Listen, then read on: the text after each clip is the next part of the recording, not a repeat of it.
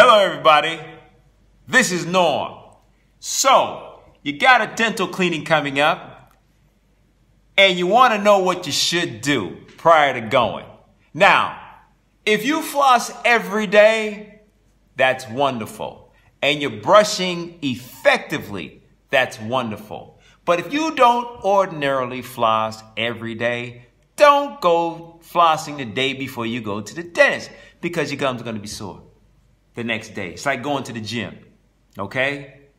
But what you should do, seven to 10 days before your dental cleaning, you should be flossing and brushing effectively every day, okay? To prevent discomfort during the visit.